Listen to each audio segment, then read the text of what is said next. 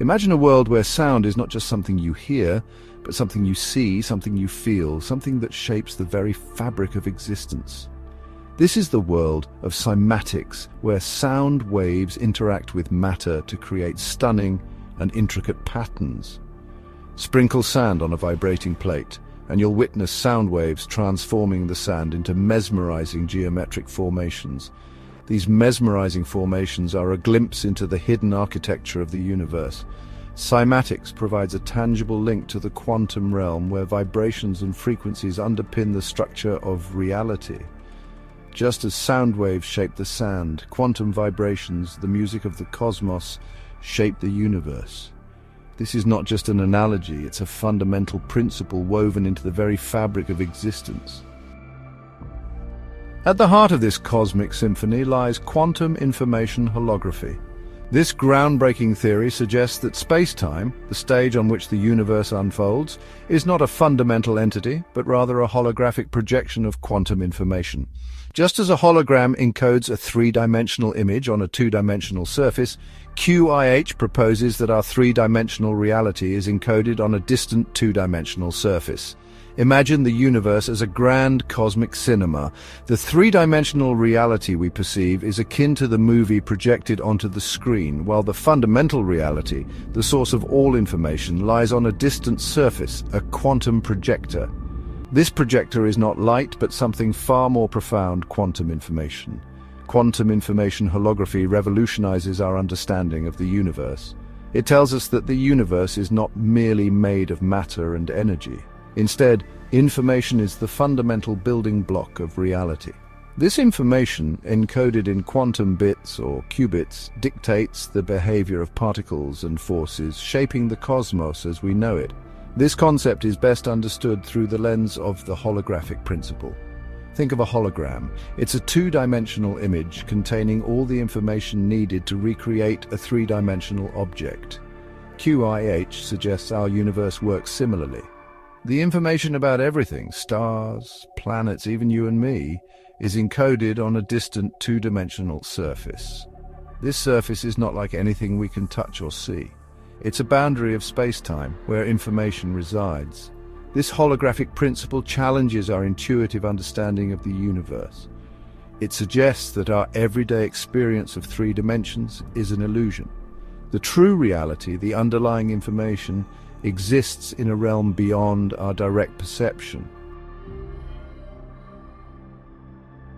At the heart of our universe, according to QIH, lies the singularity. This isn't just a point in space, it's a realm of infinite information density, the ultimate source of the universe's holographic projection. Imagine it as a cosmic seed containing the blueprint of everything that is, was, and ever will be. Within this singularity, information doesn't follow the rules of space and time as we know them. It exists in a state of pure potentiality. From this singularity, the universe unfolds not as a big bang of matter and energy, but as a continuous projection of information. This information encoded in quantum fields gives rise to the particles, forces, and ultimately the structure of the universe we observe. Understanding the singularity is crucial to grasping the grand scheme of QIH. It's the wellspring of reality, the point where information transforms into the physical universe we experience. Section 4 Quantum State Vectors, the architects of our universe. In the quantum realm, particles exist in a haze of probability, their properties undefined until measured. This uncertainty is described by mathematical entities known as quantum state vectors. These vectors, existing outside of space-time, hold the potential for all possible outcomes of a quantum measurement. Think of these state vectors as architects of reality. They reside in a realm beyond our universe, a place called Hilbert space. This space isn't bound by the limitations of our reality. It's a realm of pure information where all possibilities coexist. When a measurement occurs, a single possibility is selected from the state vector, collapsing the wave function and bringing that specific outcome into our reality. This process, happening countless times every second, shapes the universe as we experience it. Section 5, the event horizon, a quantum mirror reflecting reality. Black holes, the universe's most enigmatic objects, hold a special place in QIH. Their event horizons, the points of no return, act as cosmic interfaces between the holographic projection of our universe and the underlying information realm.